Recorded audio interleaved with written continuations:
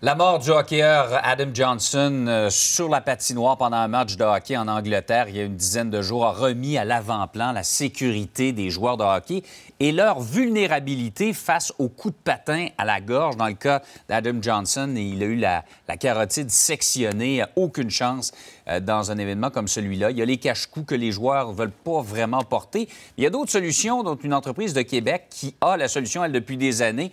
Euh, on va aller tout de suite parler à Éric Bédard directeur de l'Académie Nagano Skate. Monsieur Bédard, bonjour. Bonjour.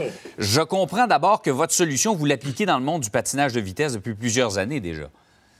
Oui, exactement. Depuis 20 ans environ, c'est dans le monde du patinage de vitesse, on est obligé d'avoir euh, la, combinaison anti-coupure. Alors, en dessous de notre lycra, qui est lui coloré aux couleurs de notre pays ou de notre club, on a une protection anti-lacération de la cheville à aller au haut du cou depuis euh, une vingtaine d'années déjà. C'est quel genre de tissu qui permet d'éviter les coupures comme ça? Ben, en fait, c'est un tissu euh, à la base, là, Kevlar Dynema. C'est dans cette gamme-là. Euh, nous, c'est notre tissu Imperium qu'on va chercher. Et puis, euh, c'est ce qui, c'est pas nécessairement l'épaisseur qui vient. Le nôtre, il est très, très mince, très, très adéquat pour la haute performance ce qu'on peut aller chercher, c'est les degrés de lacération qui, est super important. Alors, nous, on est un niveau 4. Il y a plusieurs euh, tests qu'on peut faire là, dans l'antilacération. Alors, les prix aussi viennent jouer en fonction d'eux. Alors, on peut avoir une antilacération niveau 1, niveau 2. Alors, le prix va être très, très bas. Nous, on est un niveau 4. Alors, oui, il est très mince, oui, il est très confortable, mais il est très, très sécuritaire aussi contre les, les lacérations de patin. Donc, si Adam Johnson avait porté cette combinaison-là, il serait encore en vie. Ah, définitivement. Euh, définitivement. Et puis, euh, peut-être qu'il y aurait eu une égratignure euh, au niveau du cou. Mais si vous transpercez notre impérium et puis que ça vient toucher la peau, dites-vous que vous êtes très, très chanceux parce que sinon, ça aurait été une section, ben, un petit peu comme qui est arrivé malheureusement, section complète d'une artère principale, mais on ne peut pas y échapper nous, notre chandail, mais on vient chercher, oui, la gorge, on vient chercher la carotide avec le protège-cou, mais aussi l'avant-bras, euh, où on a aussi des artères très importantes. Alors, on, a trois positions là, très importantes du côté du, du chandail. Et puis, du côté du pantalon aussi que Nagano Skate a développé, ben, on s'est attaqué aux artères principales. Alors, on a vraiment le tendon d'Achille, on a l'intérieur du genou, et on a l'artère euh, fémorale, évidemment, qui est très, très exposée. Euh, malheureusement, on pense que les joueurs de hockey sont très, très bien protégés avec leur équipement, mais il y a des zones à risque. Et ces zones-là, bien, malheureusement, c'est les artères principales du corps qui y passent. Ah oui. Votre combinaison est approuvée par la Ligue nationale de hockey, mais avant cette saison-ci, il y a juste les Jets de Winnipeg qui avaient démontré de l'intérêt. Comment vous expliquez ça?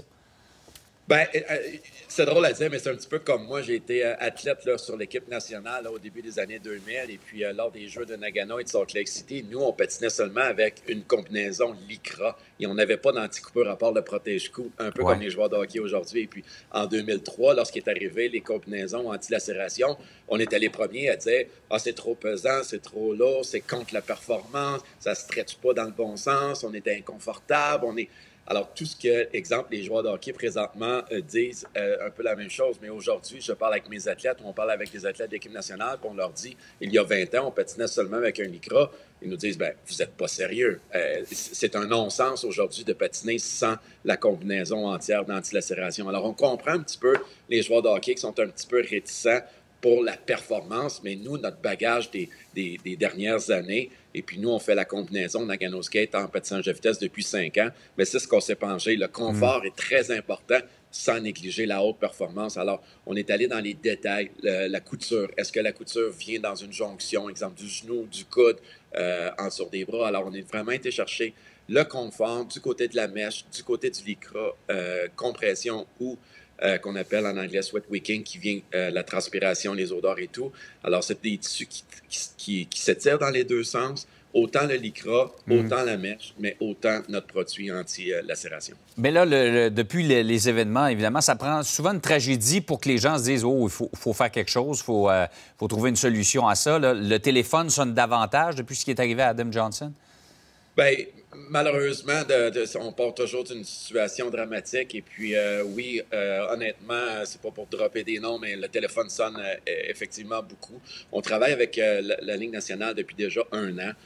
on a montré déjà nos produits qui étaient disponibles l'été passé lors d'un gros congrès du, du hockey qui se passait aux États-Unis. Alors, toutes les équipes juniors, les équipes universitaires, Ligue américaine, Ligue nationale, ont vu notre produit au mois de juin l'année passée. Effectivement, les Just de Winnipeg ont levé la main au mois d'août pour avoir des produits. Mais présentement, là, c'est plus d'une douzaine d'équipes de la Ligue nationale, des, circuits universitaires, des circuits canadiens de toutes sortes qui, qui, nous appellent depuis déjà une dizaine de jours. Et puis, on est super heureux, on est super content.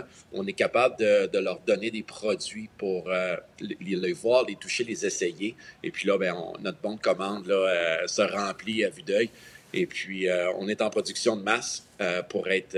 puis je vous assure qu'on va être fait prêt pour les cadeaux de Noël cette année. Oui, une tragédie qui va peut-être amener à de nouvelles mesures de sécurité et donc favoriser la vente de produits comme ceux-là. Monsieur Bédard, merci beaucoup d'avoir été avec nous. Bien, merci beaucoup. Au revoir.